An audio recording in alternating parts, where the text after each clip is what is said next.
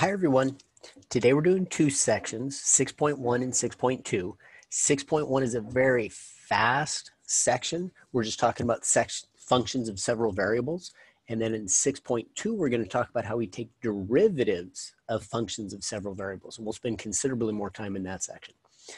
All right, but to get us started, one, the idea here is some functions are based on more than one variable.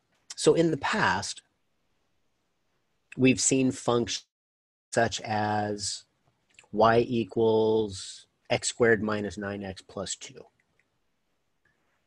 And that's a function in one variable. So it's got one independent variable. The x variable here, x is independent variable. There's only one of them.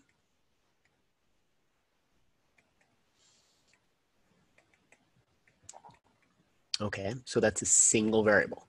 In this case, it shows up in two places, but it's still the same x value. Y is what we call the dependent variable. And this shouldn't be new to you. You've seen this in the past. But the idea here is we've got a function in just one independent variable. Now what we're going to look at, because some functions are based on more than one variable say we're looking, for instance, at how a student's going to perform on the test. The score they get on the test may be a function of several things. For instance, it may have to do with how many homework problems they've done. It may have to do with how many hours they've studied. Well, those are two different variables that could affect how the student does on the test. Or, for instance, this, think of the stock market. If we're looking at a stock maybe the stock market in general, if the stock up or down, obviously that's going to depend on several different variables. One variable might be consumer sentiment. One variable might be interest rates. One variable may be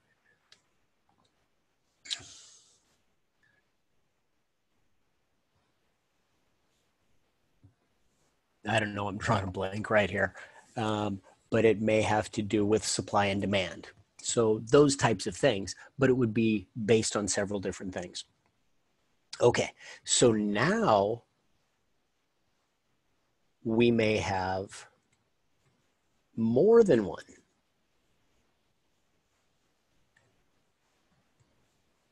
independent variable. And I'll show you a couple ways that you'll see it written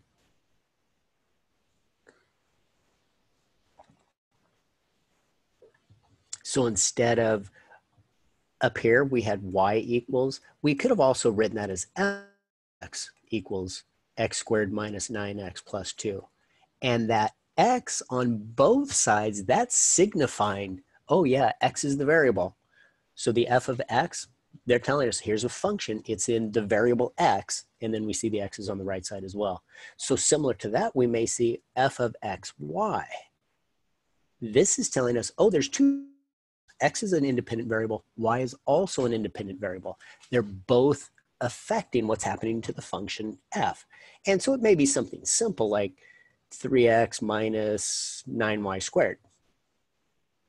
That would be a function in two variables, both x and y. We'd plug them both in to find out what the value is.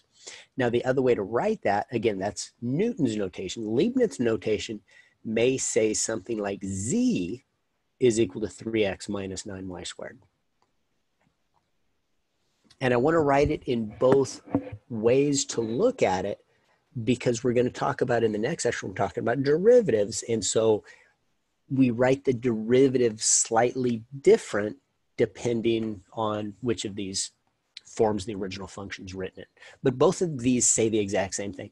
Z in this case is the dependent variable. It depends on what X and Y are. Okay, so that's that. And in this section, all they're doing is they're going to give us some values. So let me, for instance, let's go to just number two out of the book. We'll get move that out of the way. So this is on page 531. And then we look what they tell us. It says for f of xy,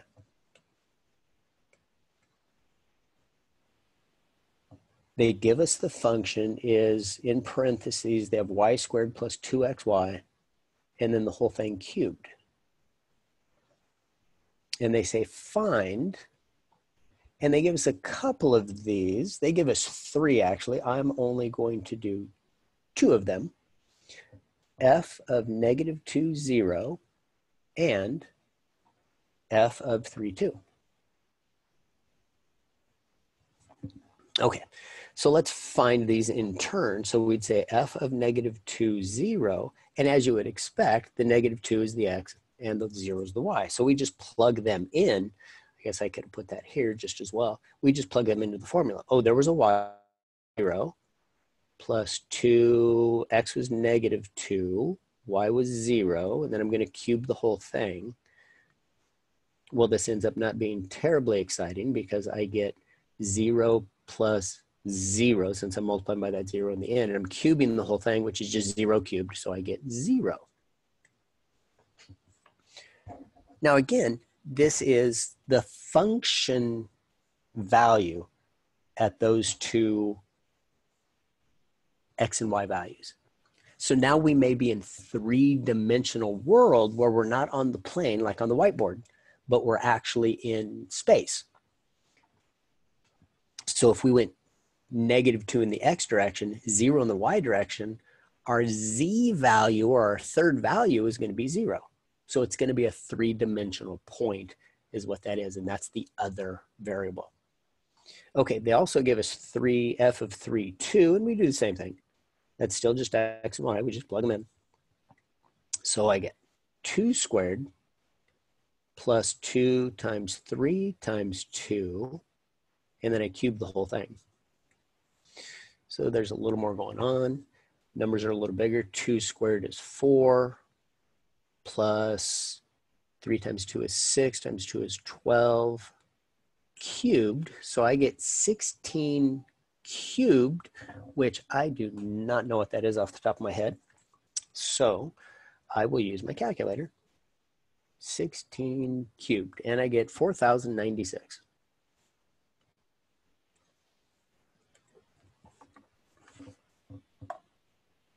All right. So that's the idea there. And I notice all the problems that they put in this section are actually written in Newton's notation. So they don't have any Leibniz notation in this section. We're going to have to wait till the next section to see that. But let's go into problem 16. We'll just see an application of this. It's also on that same page, 531 it says the yield of a stock is given by, so y for the yield is a function of both the dividend and the price of the stock, where the formula dividend divided by price gives you the yield. So y equals the yield D equals the dividend and P equals the price. So the yield of the stock is based on two different variables. The dividend that is paid out plus the price that the stock is selling for. Okay, so let's go from there. And it says they're using the price on April 1st, 2014. Oh, it says on April 1st, 2014, the price of Texas Instrument stock. So they give us the price and it was $47.53.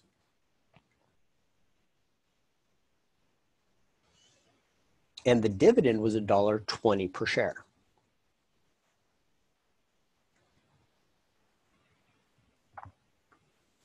It says find the yield. Well, not a lot to do there. We just follow the formula. So what they're saying is what's the yield if we have a dividend of $1.20 and a price of 47.53. Here, let me clean that up a little bit. And so we just plug it in. Oh, it's, so there's my dividend, there's my price. So I plug it in, that doesn't look like a P. So I plug in my dividend, it's a dollar twenty on $47.53 investment. And so I plug that in my calculator. We go 1.2 divided by 47.53, and I get 0 0.0252. 0252. And that's rounded off. The decimal goes on, but it says use percent notation rounded to the nearest hundredth of a percent. So we need to go to two decimal. Now when I change that to a percent, I move the decimal here and it's 2.52%.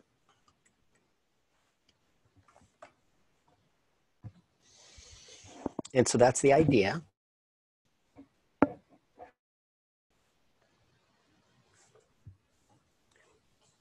But pretty straightforward. We just have more than one independent there could be two independent variables there could be three four five it doesn't matter the number of them we're just saying the function is based on more than one other number. Okay, so that's the idea. That's actually the end of that section. So from there, we're going to jump into the next section, 6.2. That's where all the work's going to be. So let's flip over to 6.2. Partial derivatives. Okay, so let's talk about partial derivatives. Now here's what's happening. So let's let's kind of jot this down. A partial derivative, that is not a P, a partial derivative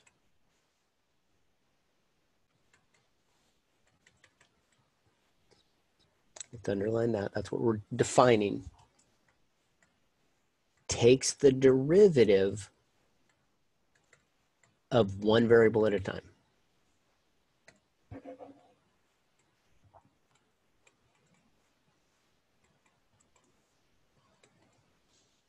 And not only is it one variable at a time, but I'll put a semicolon there, keeping the other, and I'm going to say variable, but I'm going to put it in parentheses as a constant.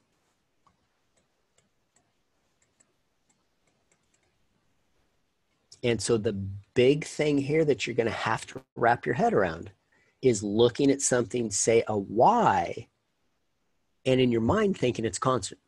It might be a five, might be a seven, might be a negative three. I don't know what the value is, but I have to treat it as a constant. So that's the big idea. Because the thought is, say I've got a, a function in x and y, and let's just make up a nice simple one. So say, for example, I have f of xy, and it's 3x plus 5y. And so the question becomes, well, I can look at this because think about we're talking about derivatives, we're talking about the rate of change of the function. Well, in order to see how x affects the function, we need to pretend y is a constant. Not really pretend it's a constant, but we have to say, okay, let's not let y change. I only want to see what happens to the function when x changes. So we keep y as a constant and we only change x. And so let me show you off to the side sort of the idea of this. And I'm going to I'm going to show it to you, but let me take these partial derivatives first. Now, when I take a partial derivative of the function f, but I'm using x as my variable, the way that I write this is I write f with a little x notation. So it's going to look like this.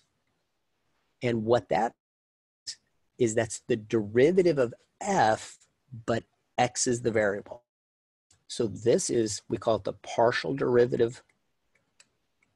And it's partial because they're both x and y are not changing. Partial derivative of f we say with respect to x,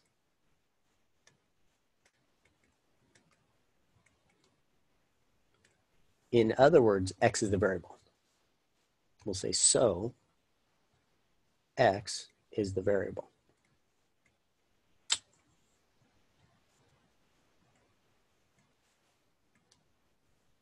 And I'll put in parentheses y is constant.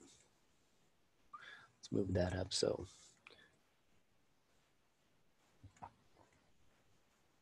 Okay, so let's look. So if I take this derivative and I look at this 3x, the derivative of 3x is just 3. We know that. That's nothing special. But now I look at this plus 5y.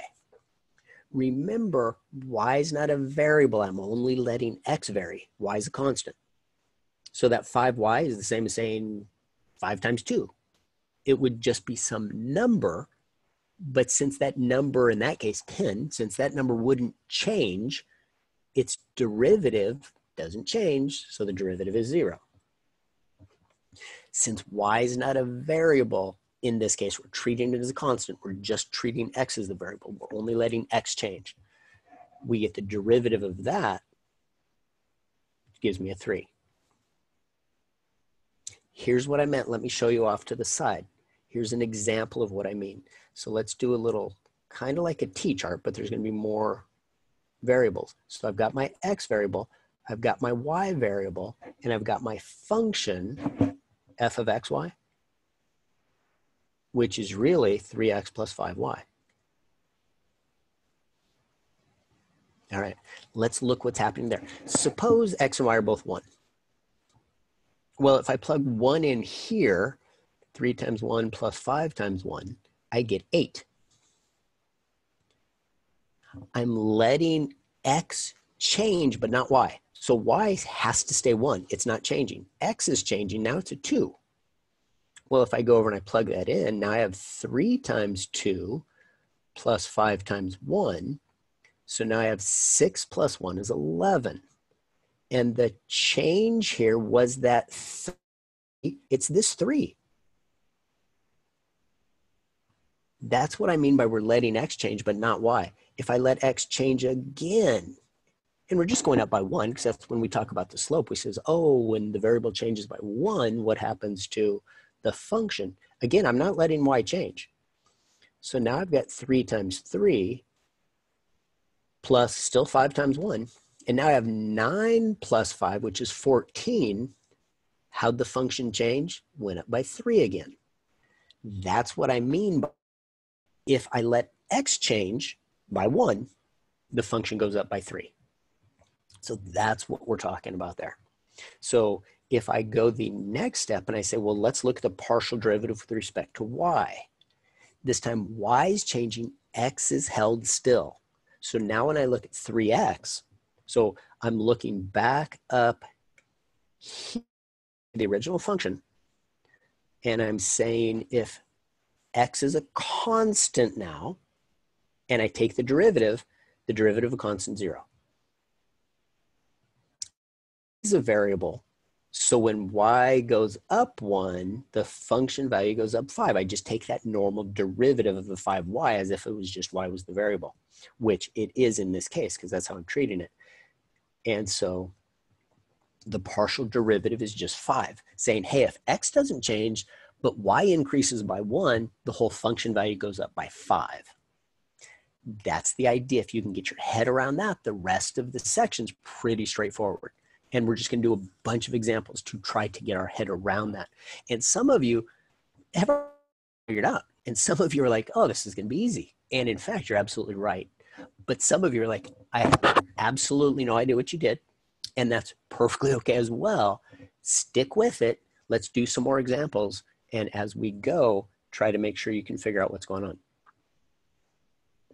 Okay again, my suggestion is as you're going through these sections to study, you may want to, when I write down a problem, pause the video, work through the problem, and see if you get the same answer I do. Because then I'll do it, and you say, "Oh, I should this," or "Yeah, I was right. I I have that. I understand it."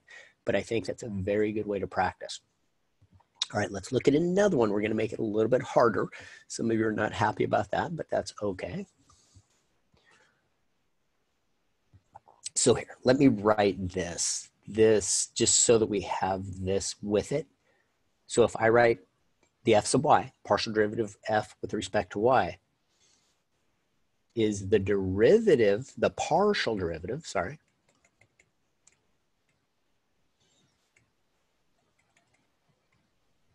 of f with y as a variable.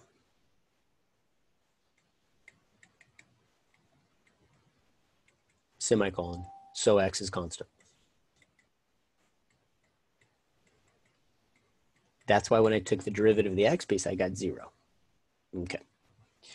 So for completeness, so that we see each of those partial derivative with respect to x and partial derivative with respect to y both written out. Okay, now let's go a step from there. We're going to do another one, and we'll it in the same notation now just so that we get a little more comfortable. So let's see, example. So let's go f of xy. This time, let's say I've got 3x squared minus 4y to the third. Now, think back to taking a derivative just in a single variable. So say I had f of x equals 3x squared. We usually, to take the derivative just in our head, do the 3 times 2 and get 6x. But what we're really doing is we're keeping that 3 constant multiple there. We're taking the derivative of the x squared, which is 2x, and then we multiply it together. And we would get that. The reason I'm pointing that out in steps is because sometimes students will look at if we put a y next to something and they'll say, hey, but wait a minute. That's a constant. Shouldn't it go to zero? Well, the three didn't go to zero here because it's a constant, but it's a constant multiple. So I'm going to extend this problem just a little bit from here. And let's say no, you know what? In fact, let's change this problem up a little bit. I'm going to erase this part of it, and we're just going to make it 3x squared y to the fourth. Let's just do one step here. The point being, when I look at this function, the 3 is multiplied by x squared, constant multiple, but when I'm looking at the partial with respect to x, that y to the fourth is no different than the 3. It's still a constant multiple. It still stays there. So if I take this partial derivative with respect to x, I'm going to keep the 3 because it's constant multiple. I take the derivative of x squared, which is 2x, just like we did off to the right. But this y to the fourth is a constant multiple, just like the 3 was. So it also stays there. The three doesn't disappear. The y to the fourth doesn't stay there because they're both constant multiples, just like the three over on the right-hand side. And now I can multiply things together and I get 6x y to the fourth. That's my partial derivative with respect to x. So I took the derivative of the x piece. All the rest of the constant multiple stayed. All right, let's try it with the y. So I take the derivative, the three stays because it's a constant multiple. The x squared stays because it's a constant multiple. But I'm taking the derivative of the y. Well, the derivative of y is just 4y to the third.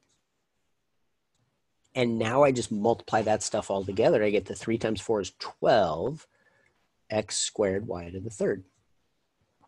That's my partial derivative with respect to y. All right. Again, some of you are getting it, some of you are confused, and it's okay. We're going to do some more examples. But try these out. Right. Let's jump to one where we've got some of the both of these put together. I'm going to show you some new notation so that we get used to it as well. So this is Leibniz notation. For z equals whatever the function is. Um, should I make one up? Sure, we'll make one up. 2x minus 9y. If I write partial derivative,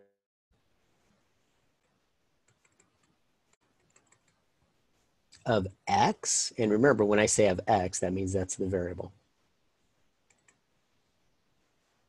Oops. Still didn't spell variable right. Well, that's fantastic. Okay, the partial derivative. The way I write that is, aren't you ready? It's delta z over delta x, since x is the variable. It's very similar to writing before when we'd say something like dy dx for the variable. So the z on top, that's the function. That's why we write dz. And the x on the bottom is the variable, the independent variable. Now, we use a delta, that's lowercase delta, to show that it's a partial derivative. So this dy dx, that's just a straight derivative. I only had y was a function of x. So that's a regular derivative. If I have a little curly d, which is delta, then it means it's the partial derivative. Let's erase that. And similarly, if I do the partial derivative,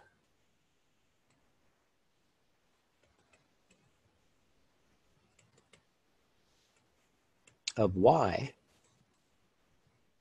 that times y is the variable, I write it as the partial of, oops, partial of z with respect to y.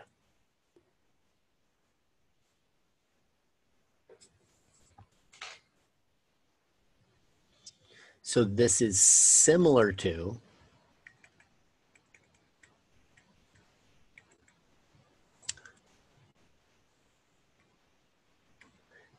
where I would have written if the function was f of xy equals 2x minus 9y, this is where I would have said, oh, it's just the partial with respect to x. And this one would just be, oh, it's the partial with respect to y. A little more, it's a little busier as far as the writing it out goes, but you will see that as well. So on this one, if I take the partial of z with respect to x, again, x is the variable. The derivative of 2x is 2. The derivative of y, well, y is a constant in this case, just 0. So I just get 2. And the partial of z with respect to y, this time the 2x is a constant, so its derivative is 0 minus 9, and I get negative 9. All right, so we went through that one pretty quickly because it's very similar to that first example I wanted to give you. But what I want to do is I want to put some of these where they've got the two variables together and some where they don't so that you can get an idea of that. Okay, so let's try one of these and let's jump into, here's actually one that I like pretty well. Mm. It's number four. This is on page 539. What they give us is z equals 2x cubed plus 3xy minus x. And they say, well, a couple things. They say find the partial of z with respect to x, the partial of z with respect to y, but then they also want you to find a couple values. So they say the partial of z with respect to x evaluated at negative 2, 3. Oops, there's a negative 3. I want to squeeze that in, we'll erase. And the partial of z with respect to y evaluated at 0, negative 5. So once we find those partials, we'll just plug in those x and y values and figure it out. Okay, so the partial of z with respect to x, remember x is the variable. So when I look at 2x cubed, oh, with x as a variable, I know how to take the derivative of that. It's just 6x squared. Plus, all right, now next one. It says 3xy. Suppose it just said 3x. If it just said 3x, the derivative is 3 because it's constant multiple. The x to the first just goes down. You lose the x, you just get the 3. But that y was a constant, remember, because x is the variable, that y is a constant just like the 3 is. So it also stays. If you want to do it similar to what we did before, I would have said, okay, the 3 stays, the derivative of x is just 1, and the y stays. And so you get 3y. Minus the derivative of x is just 1. So this partial derivative looks like that. Again, the reason that y in the middle stays with the 3y is because it's a constant multiple, just like the 3 was. All right. Try another one. Try the partial of z with respect to y. This time, y is the variable. That 2x cubed, there's no y there. So you know what that means it is? Just a constant. A constant all by itself when you take the derivative is zero. With the y, well, the y is being multiplied by the 3x, so the 3x stays, but the derivative of y was 1. Minus, and then the derivative of x, again, that's a constant that goes to 0. So a constant that doesn't have the variable, in this case y attached to it, goes to 0. The 3xy had the y attached to it. So you keep the 3x, and then you take the derivative of y, which is just 1. And so this whole derivative is just 3x.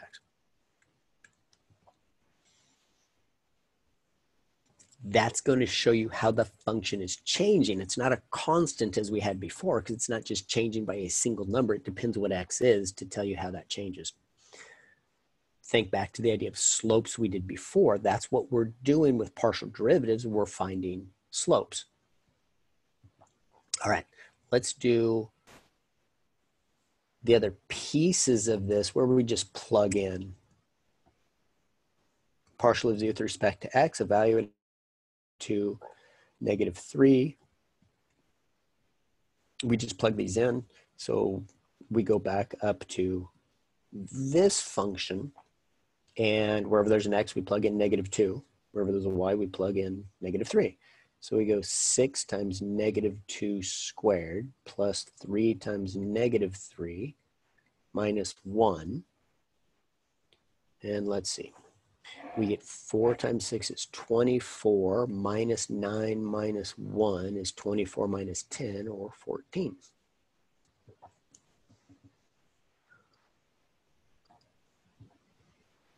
And with the partial of z with respect to y, we're evaluating that at 0, 5.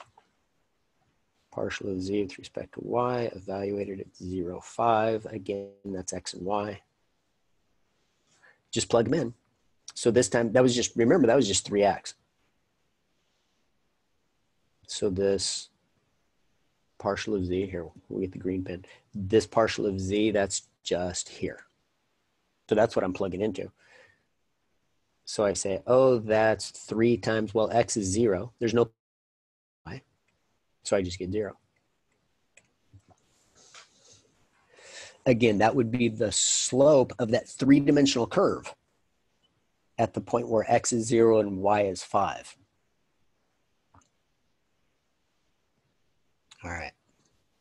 So that's the idea. That's that new notation as well. Again, we're just going to do some more examples. I'm not going to be plugging in the X and Y. That's a combination of this section plus what we did in the last section where we plugged things in. But I want to get more practice with just taking these partial derivatives. So let's see. Let's do a, well, let's jump up to problem 14.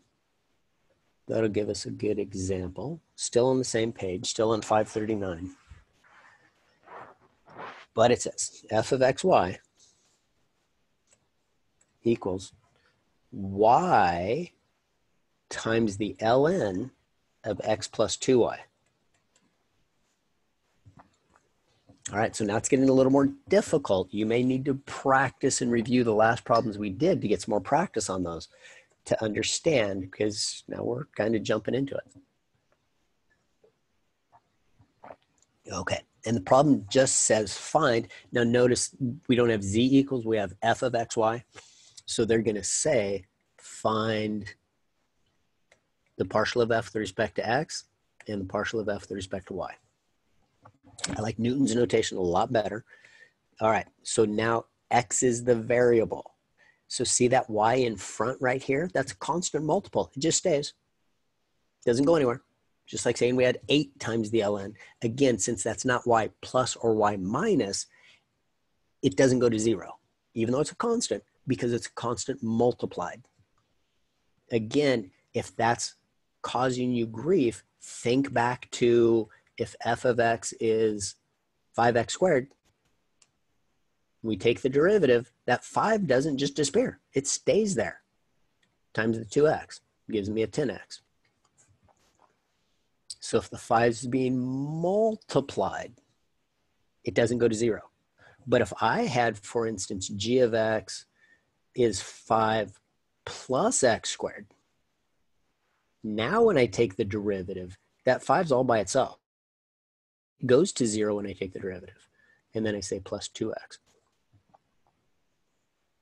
So notice the difference in those. That's why this y constant multiple stays.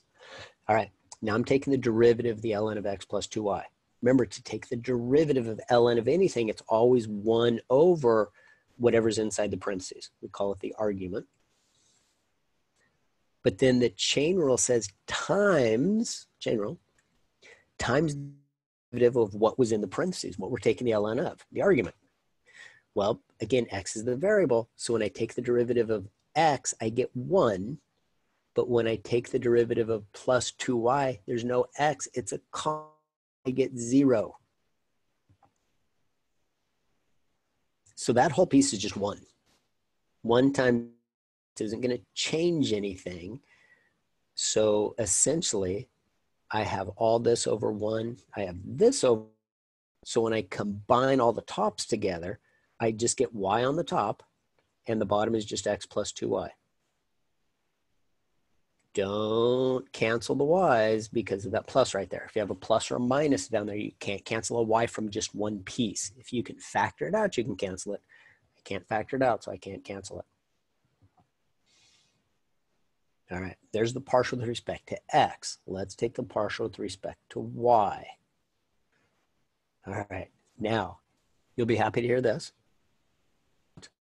since that y in front is multiplied by the ln and there's a y inside part of the argument as well, we have to use the product rule.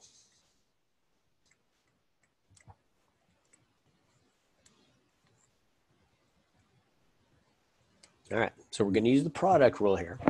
So I'm going to do the first y times the derivative of the, well, we already said that's 1 over x plus 2y. And then the chain rule says times the derivative of the inside.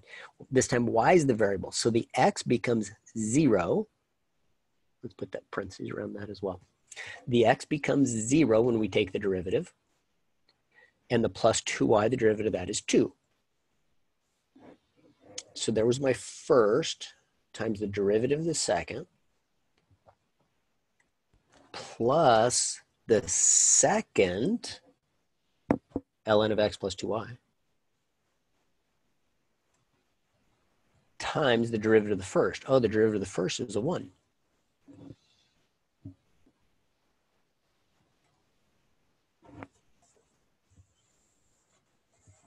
Now, notice I did the product rule here. And it's because when I did this last f prime over here, I got the derivative of y was 1 had we tried to do the product rule when we were doing the partial with respect to x, we could have, but we would have had to remember that derivative of y would have been a zero because it's because it's constant. So it wouldn't have been wrong to do the product rule, but you'd have to realize that wouldn't be a one in that case, that'd be a zero because y was a constant. So now if I clean this up on the top, I've got my partial with respect to y. I've got the y on top and the, the 2y. That's from these two pieces here. That's my 2y. And then on the bottom, I still have the y. I don't cancel the two y's because of the plus on the bottom. That's not an equals. That's a plus, And it's just the ln of x plus 2y. And there's my answer.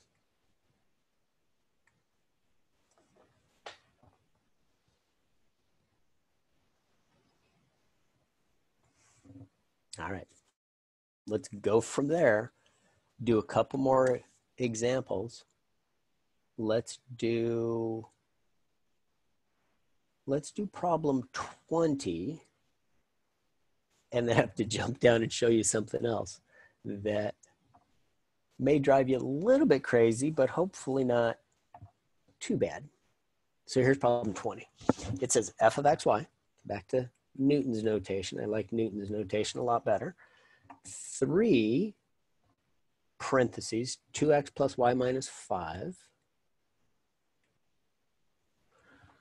raised to the second power. And want to two partial derivatives. So the partial derivative of f with respect to x. x is the constant. Use the power rule. Bring that 2, where's that going? Bring that 2 down like we always do. Multiply to get 6 times all this stuff to the first power. But then since all that stuff wasn't just a variable, it's a whole function, I have to say, oh, chain rule times the derivative of the inside. Well, remember, x is the variable, so the derivative of 2x is 2. The derivative of y is 0 because it's constant and the derivative of the minus 5 is 0 because it's constant. So that whole thing is just 2. So that partial derivative just comes as this 2 times this 6 gives me a 12. And then it's 2x plus y minus 5. It's to the first power. We usually don't write the first power. And there's our answer. All right, let's try the second one. Again, here's where I would say pause the recording, try the partial with respect to y yourself, see if you can do it. I will just go ahead and do it.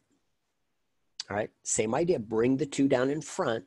The two times three is six times 2x plus y minus 5 to the first times chain rule, the derivative of the inside. Well, the derivative of 2x is 0 because x is a constant now. I'm treating y as the variable the derivative of y is 1, and the derivative of minus 5 is 0 because it's also a constant. And so now I just get 6 times 1, which is just 6. So I get 6, and then that same stuff in parentheses, 2x plus y minus 5.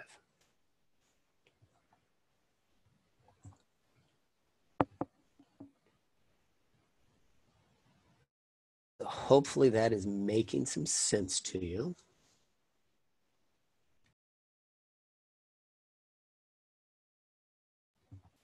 All right. Excuse me. So let's look at this next idea. So what they're going to do is if you remember when we were taking derivatives and then we were taking the second derivative, they're going to do that same thing. So they're going to take what they call second order partial derivatives. Second order partial derivatives.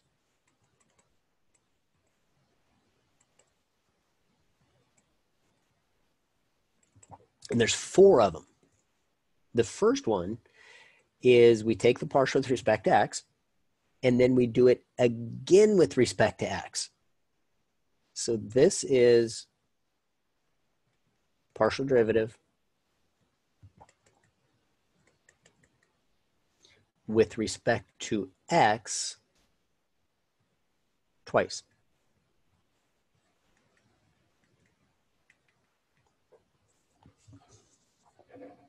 We could also do it where we do the partial with respect to x and then y.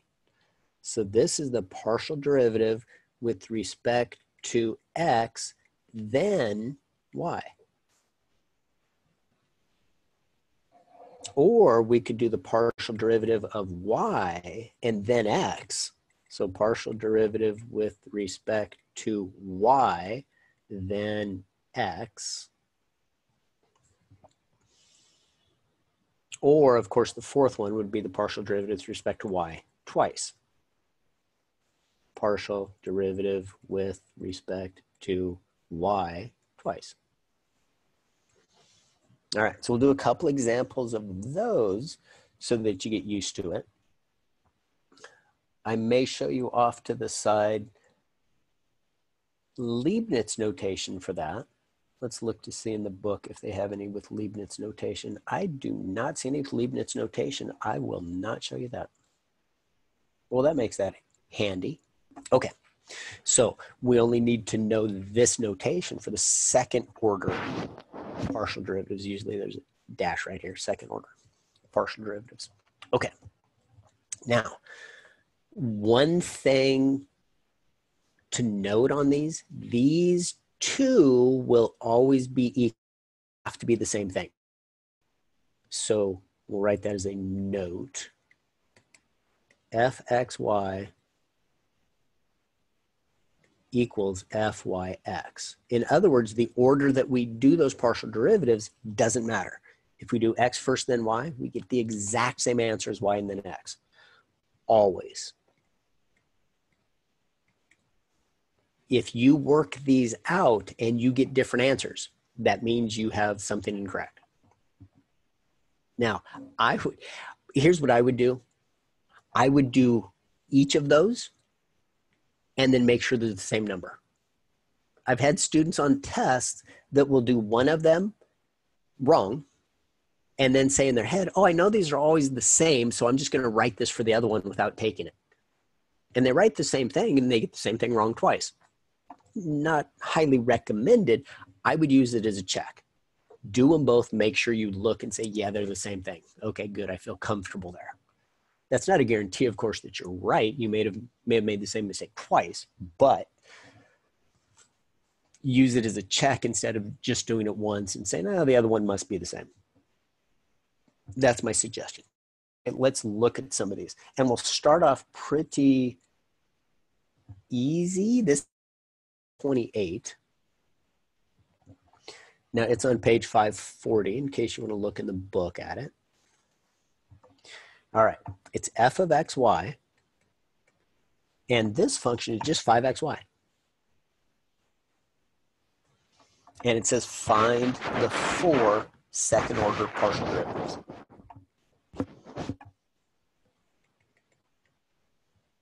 Find the four second order partial derivatives.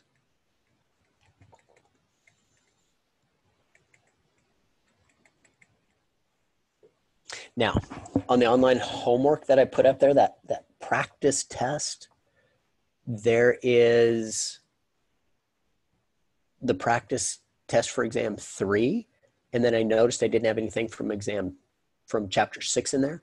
So then I had more practice for exam three or whatever I worded it, and it says chapter six in parentheses. So do make sure you do some problems in there. There will be problems on your exam from chapter six as well as just chapter three.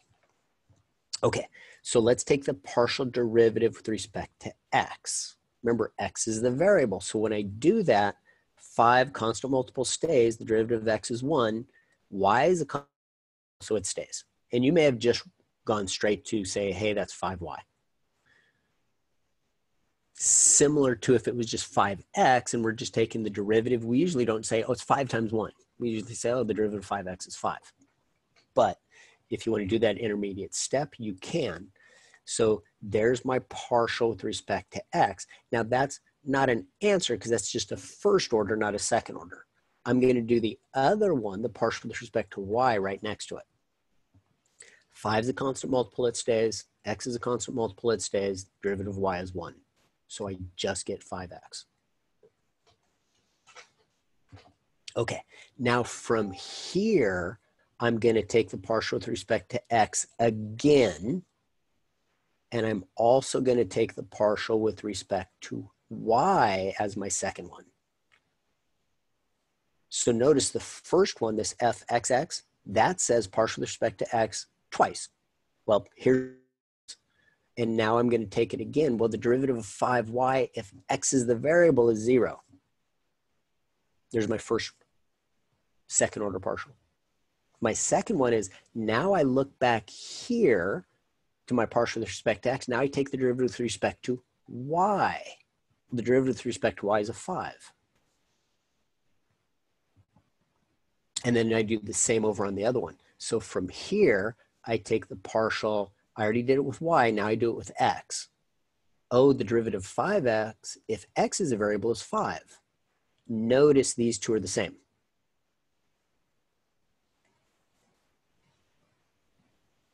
And then I also do this one, the partial with y, and then y again, start to write x.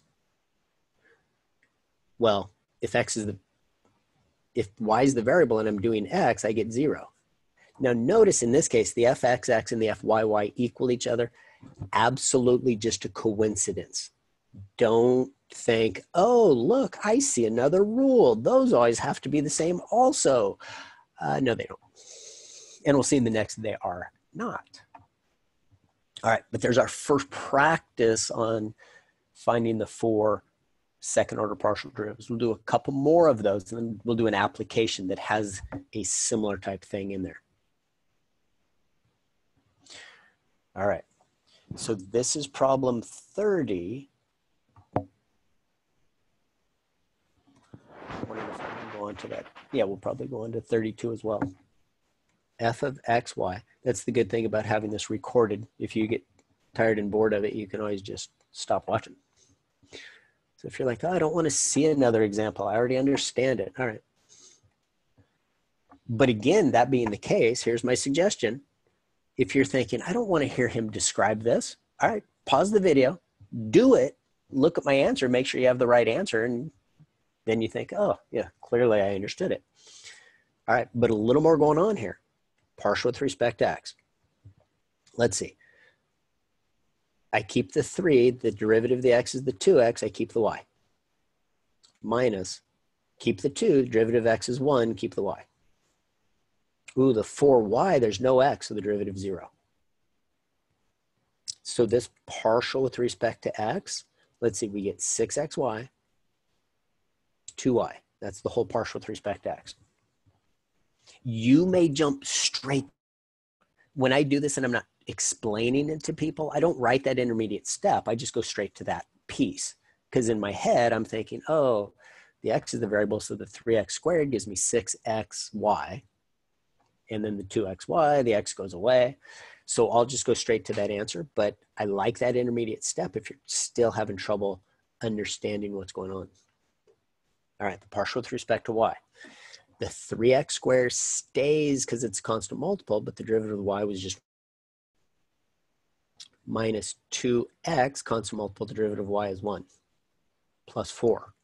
Again, if you want to put the 1 here, we usually don't, but to be consistent, so the partial with respect to y, 3x squared minus 2x plus 4. All right, there's my first order. From there, I'm going to go into the next piece, which is getting my second order partials from there. So I'm going to start off with this. I'm going to do it with respect to x again. So the x becomes a 1. I just get that y minus, there's no x there, it's a 0. So the partial with respect to x twice is just 6y. Take this same partial with respect to x, now do it a second time, with, but with respect to y. The 6x stays, y becomes a 1, and then the minus 2y is just a minus 2. If you want to say times 1, you can. So you get 6. All right, try these out. I'm going to have to write a little bit smaller because I'm running out of room. so I've got the partial with respect to y. Now let's do x. I get 3 times 2x minus 2 times 1 because x is the variable plus 0 and I get f partial with respect to y, then x is 6x minus 2. Notice those are the same. Hey, that's good shape.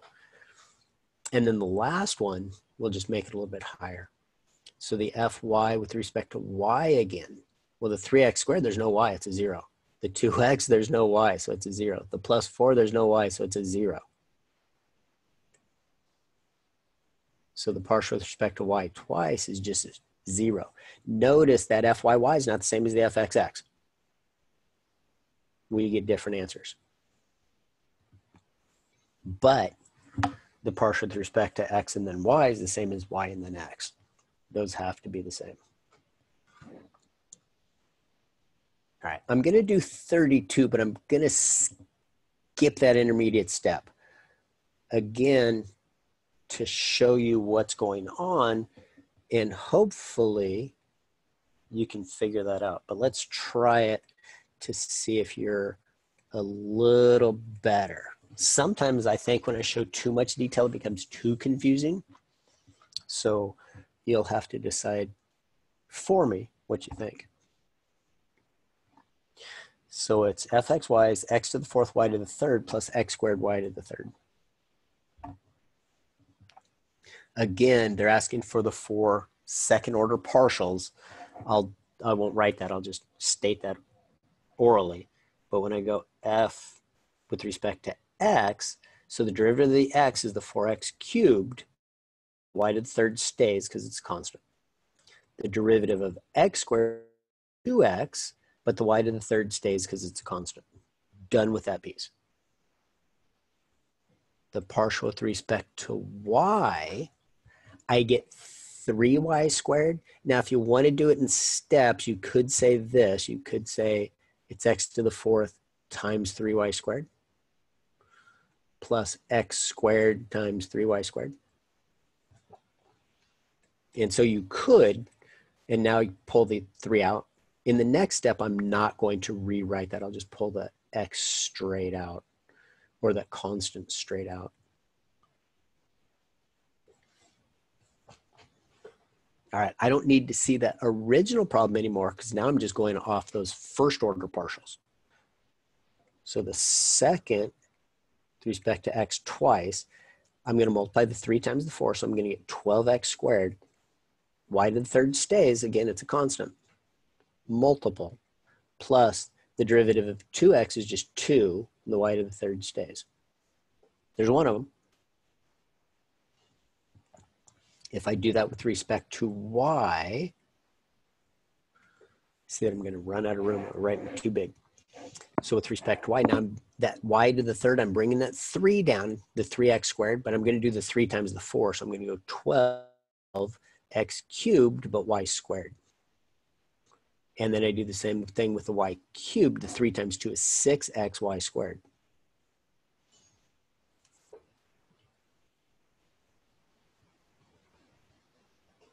Let's see. Over here, I'll do the fyx, and then I'll run out of room on this line, but I'll, at least I'll have these next to each other to see if they're equal. Okay. So now I'm taking the derivative of the x. So I bring that 4 down. 3 times 4 is 12x to the third. Leave the y squared. Plus the 2 from the x squared comes down 6x y squared. All right, let's see. 12x cubed y squared, 12x cubed y squared, plus 6xy squared, plus 6xy squared. They're the same. So these, again, these are equal.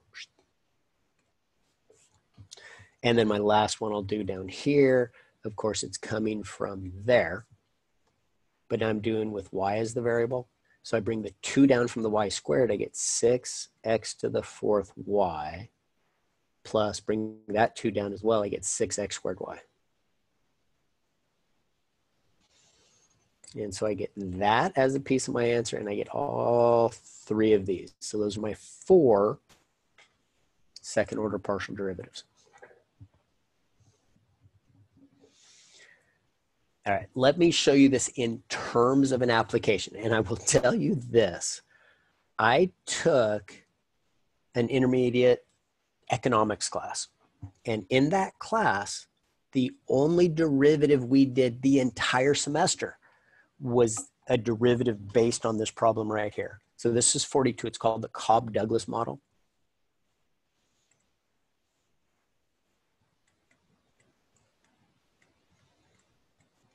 And what they do, it's a, a way they set up production functions. And they tell us here, the production, the units of production is based on two different things, X and Y.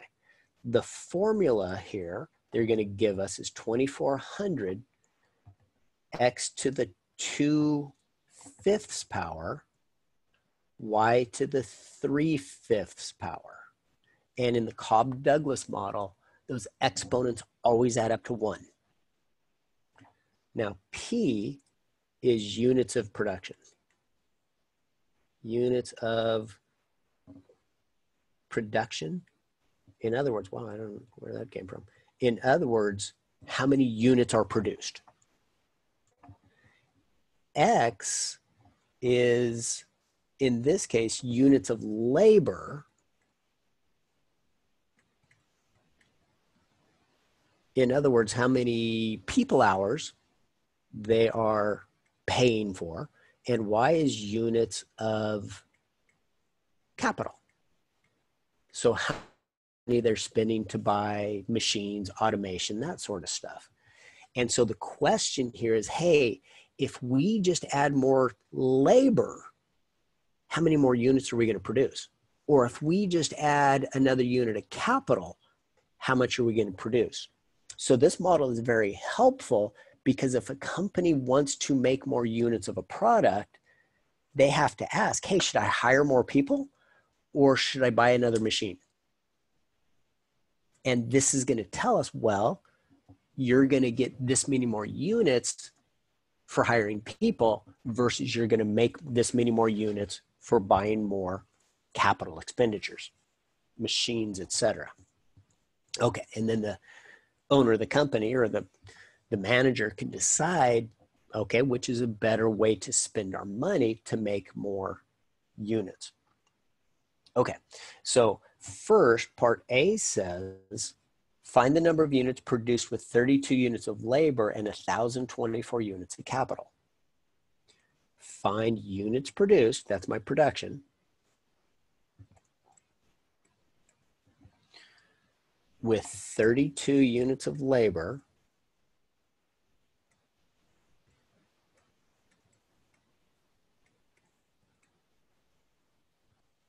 and 1,024 units of capital.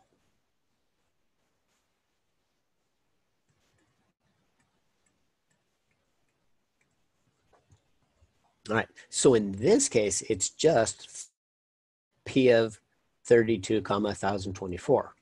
This goes back to that first section we did where we've got a function based on two different variables. We just plug in the numbers. So we get 2400 32 raised to the 2 fifths and 1024 raised to the 3 fifths. Now, on some calculators, when you raise to a power, it's going to put it physically up as an exponent. And then you can put in the 2 divided by 5. I don't have a fraction key on my calculator, so I'd put it as 2 divided by 5. I don't know if most calculators that do have exponent areas up there, you can put a fraction in. Maybe they can, maybe they can't. I can't speak to that because mine doesn't do that. But on mine, I will show you how I have to enter this. I enter this as 2400 times 32 raised to the power. Then I have to put parentheses, 2 divided by 5. Close parentheses times parentheses. I don't need a parentheses there. Times 1024 raised to the power parentheses 3 divided by 5. I need the parentheses around the exponents because calculators do order of operation. And if, for instance, here I didn't have the parenthesis, if I just wrote it as 1024 raised to the third divided by 5, well, you do exponents before you do division. So it's only going to raise it to the third power and then divide the whole answer by 5. That is not what I want but it does inside the parentheses before it does exponents. So erase all of this, get that out of our way. But that's how I have to enter it into my calculator. Again, if yours is showing a physical exponent, you don't have to do those parentheses. but I'm going to enter this into my calculator this way, 2400 times 32 raised to the power parentheses 2 divided by 5 close parentheses times 2400. It's not 2400 times 1024 raised to the power parentheses 3 divided by 5. And I get 614,400.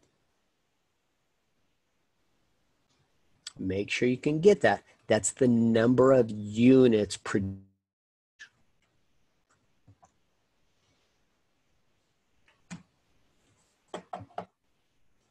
All right. Now it says find the marginal productivities. In other words, the like we would say the marginal profit would be the derivative of profit. The marginal productivity is the derivative of production function. And so we have to find the partial derivatives. All right, let's lift that up a little bit so we can see it. So part B, marginal productivities.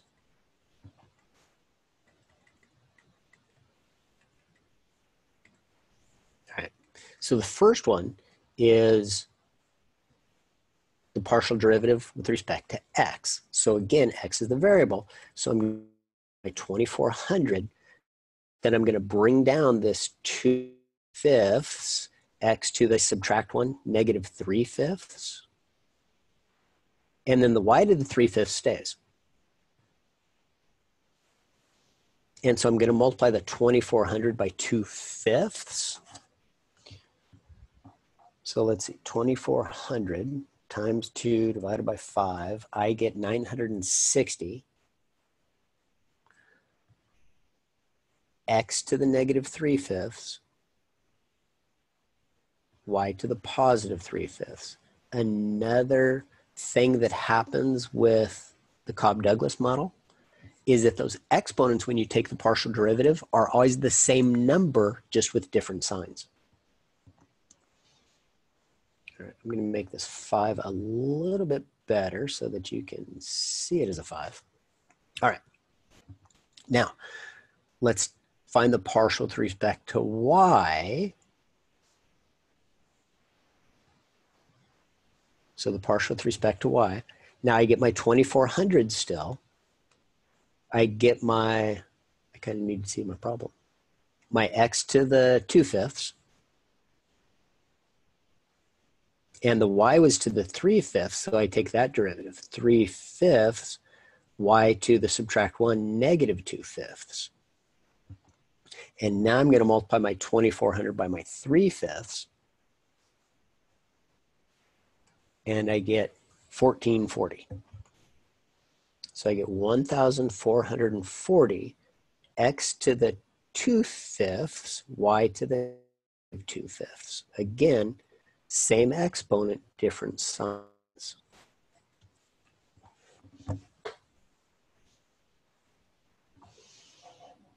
And then I'll go down to part C, which says evaluate the marginal productivities at the same X is 32 and Y is 21, 1024. So.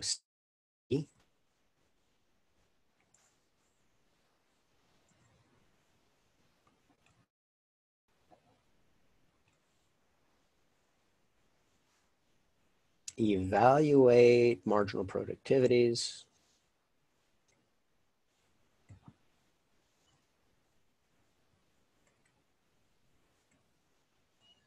At x is 2,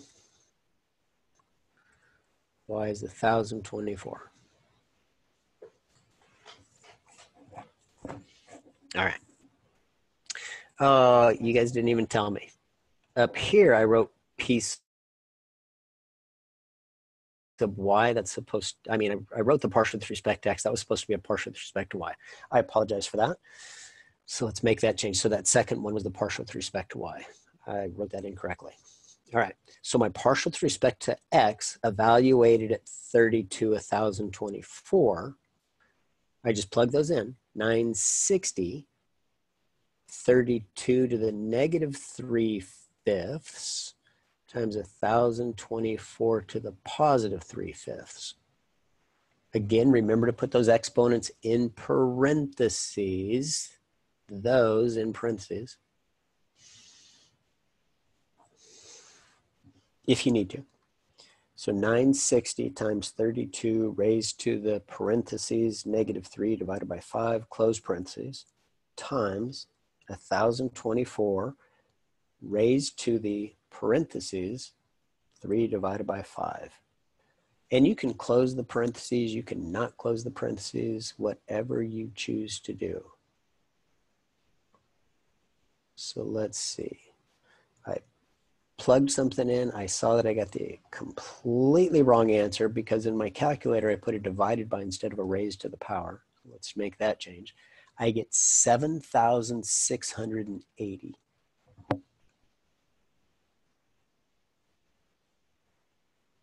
Now, realize what this is. So we'll do the explanation here. I make 7,680 units more if we add one unit of labor. And what unit are we talking about? Well, right now we're at 32, so I'm going up to 33. So if I go from 32 to 33 units of labor, don't change capital at all. I'm going to make 7,680 more units well, let's see what happens if I add a unit of capital instead of a unit of labor to see how many more units I'll make.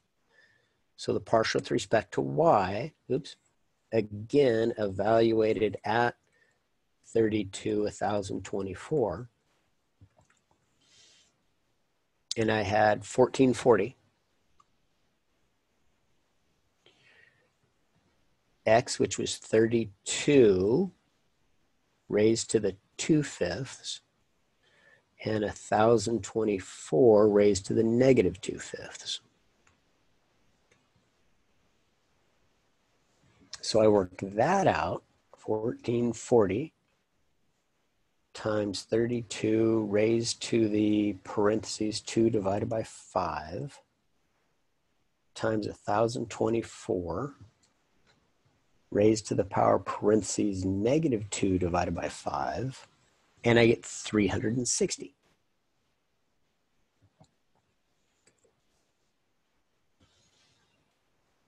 So we, let's make this a little more formal, produce 360 more units. If we increase capital from 1024 to 1025 units. And we'll put in parentheses, keeping labor at 32 units.